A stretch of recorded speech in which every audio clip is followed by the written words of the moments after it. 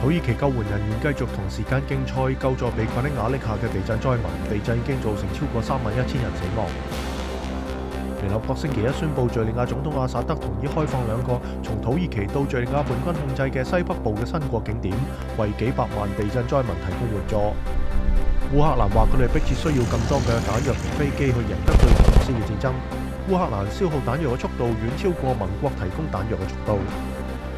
剛果民主共和國嘅 M 二十三叛軍繼續佔領北基五省嘅土地，隨住叛軍向沃馬市推進，幾十萬人逃離家園。一個新嘅難民營喺拉克維爾容納咗三萬個家庭。